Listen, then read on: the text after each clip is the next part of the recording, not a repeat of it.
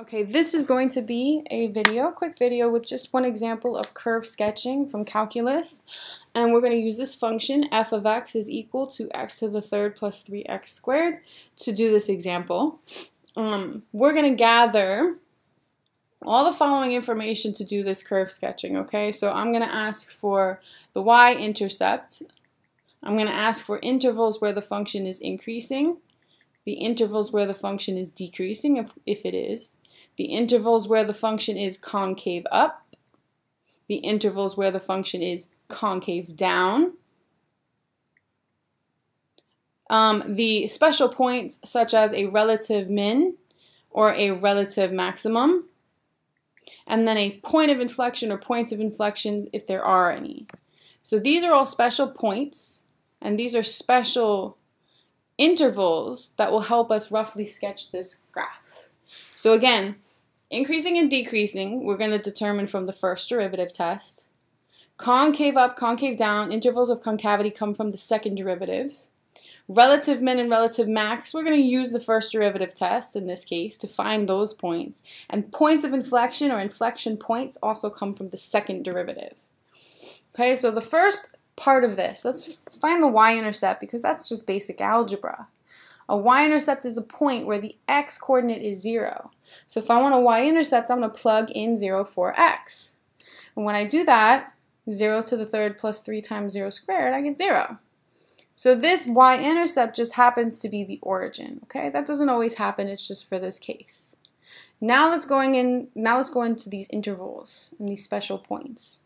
So to find intervals of increasing and decreasing, we're going to need the first derivative. It comes from the first derivative test. And the first derivative is 3x squared plus 6x. And what we do is we need to find what we call the critical values, and those are the numbers where the first derivative is equal to 0 for this example. Now this is a quadratic equation which hopefully factors, and it does because I have a GCF. I could take out a 3x, and then I'm left with an x plus 2. If it did not factor, I'd have to use the quadratic formula. And then I'm going to set each of these pieces equal to 0. My first critical value is 0. x plus 2 is equal to 0. Subtract 2, subtract 2, and I get x is negative 2. So I have two critical values, okay? Once I find the critical values, I stick them on a f prime number line from least to greatest. Okay, this is all the part of the first derivative test. Now, this interval here to the left of negative 2, I need a number to represent this interval, so let's pick an easy one, negative 3. I also need between negative 2 and 0, so let's pick a number there, negative 1, and then greater than 0 in this interval, pick an easy number, 1. Now, because this is an f prime number line, we're going to plug these test numbers into the first derivative, and once we do that, we're going to throw them away after. We just want to know what's happening in this interval. Is it positive? Is it negative for the first derivative? So I just want the sign when I plug negative 3 into the first derivative. Now I could plug it into this one that's unfactored, or I can plug it into the factored case. I personally like to plug it into the factored case because it's faster. I only care about the sign when I plug it into the first derivative, not the numerical value. So when I plug negative 3 up here into the factored case, I get 3 times negative 3, which is negative. And when I plug negative 3 here, I'm going to get negative 3 plus 2, which is also negative. So when I plug numbers in this interval into the first derivative, I'm going to get a negative times a negative, which is positive. And when the first derivative is positive, we are increasing along that interval.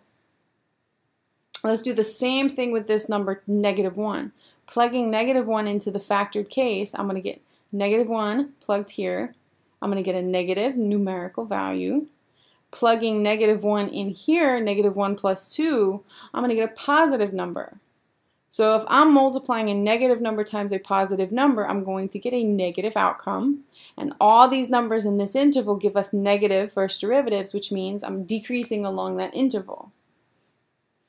Now we're going to test positive 1 positive 1 when I plug in here is going to give me a positive outcome. Positive 1 when I plug it in here is going to give me a positive outcome. When I multiply a positive number times a positive number, I get a positive overall outcome. And in this interval, my first derivative is positive, and therefore the function is increasing. Now, these don't always have to alternate like this. This is just a nice example to see a nice, clear um, curve sketching problem. But let's go input this that we just determined onto our list of things here. So let's find first where the function is increasing. So it starts to increase from negative infinity, right, until we reach negative 2. These are the numbers that are going into your increasing and decreasing intervals. These are out. I don't care about the test points anymore. So from negative infinity to negative 2, my function is increasing. That's the first part of my interval. So from negative infinity until negative 2. But there is another interval where I'm increasing. So also from 0 to positive infinity, right? I'm increasing along this interval starting at 0 to positive infinity. So, and 0 to positive infinity. Here's my interval of increasing. Decreasing, whatever's left basically, from negative 2 to positive 0, well, to 0, my function is going down or decreasing from negative 2 to 0. So in interval notation, we write negative 2, oops, we write, oh crapola. Let me rewrite this again.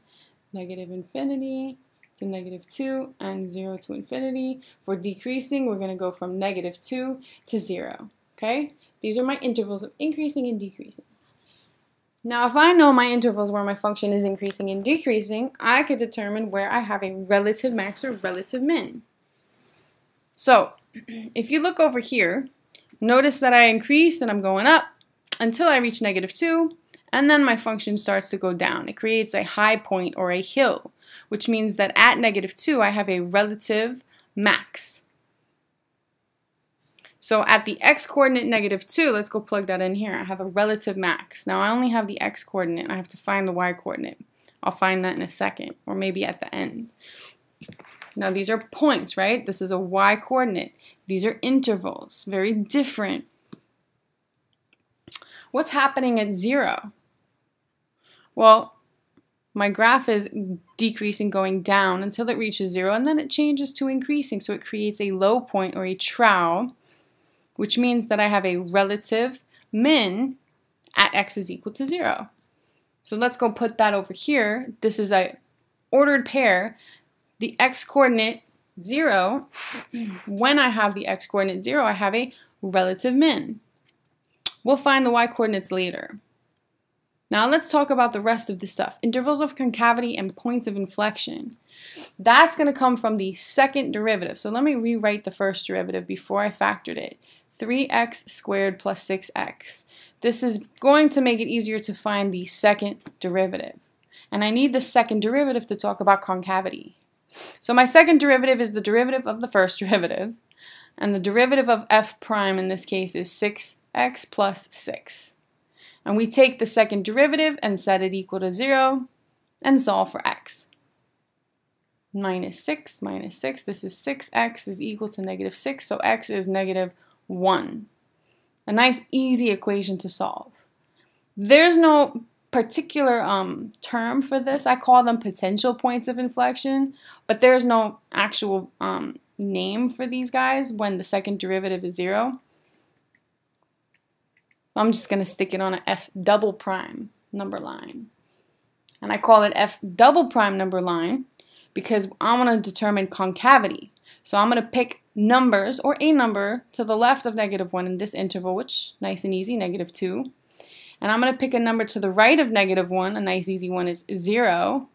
And I'm going to plug them into the second derivative because it's an f double prime number line.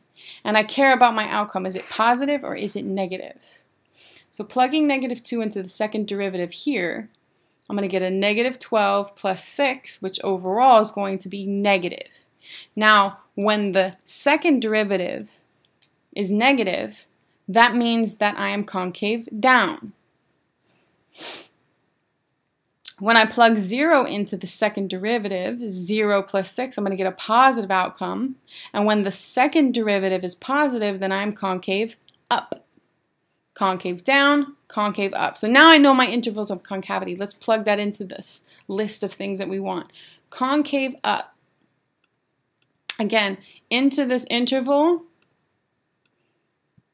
goes the numerical value down here, right? Once I use my test points, I throw them away after. They just tell me about the signs. So I'm concave up starting at negative 1 and continuing until positive infinity. So concave up from negative 1 to positive infinity. Concave down here from negative infinity until I reach negative 1. So my interval where my function is concave down from negative infinity until negative 1.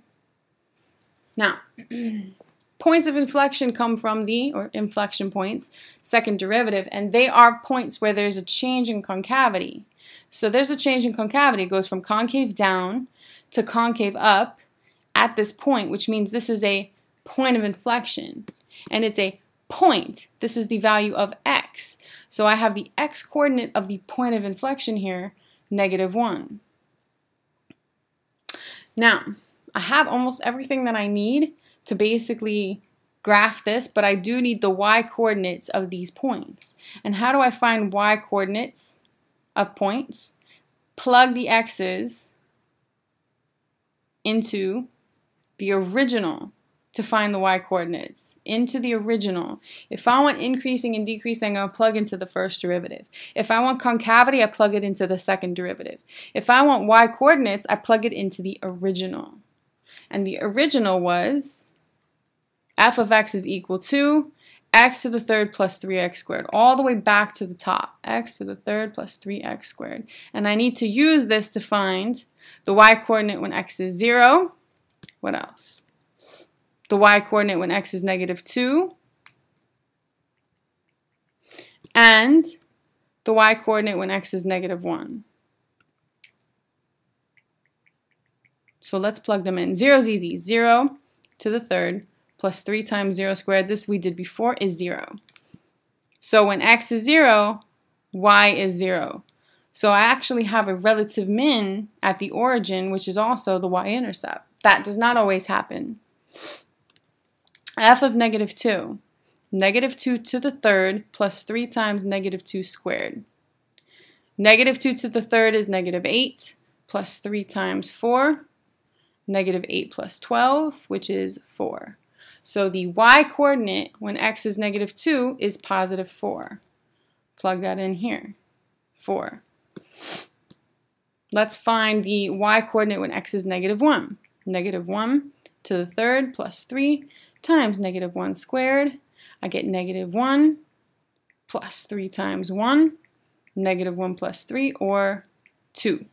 So the y-coordinate when x is negative 1 is 2. And now I have all of my points. There is a, a, trick to find relative mins and relative maxes on the graphing calculator, and I can show you that in another um, video. Let me know if you want to see that. I'll post one of those.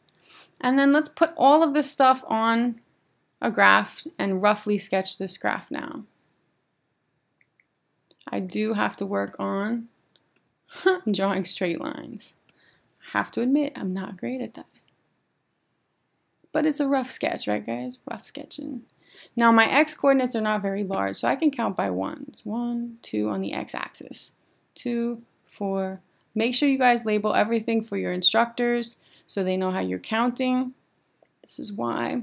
My y coordinates are not very large either, actually. So I don't need to count by very big numbers on the y-axis. So I count by one there also. Two, three, four, negative two. There's my setup. I always tell my students to plug in the points point first. So 0, 0. And I always suggest that you guys write what those points are. So we're plugging in 0, 0. This is a relative min. Relative min. Relative max negative 2, 4 up here. This is a relative max. Let's do the point of inflection at negative 1, 2. This is the POI. And basically, if you start, oops, if you start with the points, then you can kind of, and you label them like this, you can kind of see how the graph is going to move. It kind of helps you with that. All right. So let's do this. If I have a relative max here, then obviously I have to be increasing to the left of it and then decreasing to the right of it to be able to reach that max. So here, I'm going up and then coming down. I shouldn't curve that so much just yet. Right? POI is a change of concavity, so the concavity should not change until I reach this point. Now, to get to a relative min, I'm going to have to go down, decrease, and then go back up. Otherwise, it wouldn't be a relative min. So I'm going to follow exactly what that says. Go down and then come up. This is, again, a rough sketch. Now let's check that everything matches what we said here. Well, we have a y-intercept at the origin. I am increasing from negative infinity to negative 2, right? Going up from negative infinity until x reaches negative 2, and going up starting at 0 to, positive infinity for x. I'm decreasing when x is negative 2 until x reaches 0. Concave up, right? Smiling, facing up. This is concave up, starting from negative 1 to positive infinity. Concave down or frowning from negative infinity to negative 1. See? Concave down, frowning, however you want to, facing down, however you want to look at it. My relative min is at 0, 0. This is a low point on the curve. My relative max, a hill, at negative 2, 4. And a point of inflection here, change in concavity goes from concave down to concave up. Change in concavity there. My graph verifies everything that I wrote here. And this is the rough sketch of this function, f of x is equal to x to the third plus 3x squared. I'll write that underneath.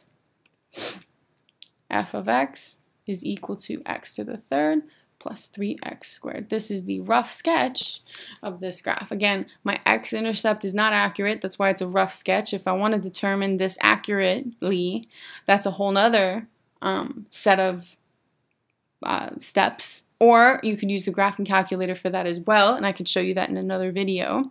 But since this is a rough sketch, I'm not accurate on here, that's okay for now. Any questions, any problems, anything you guys want to see, let me know.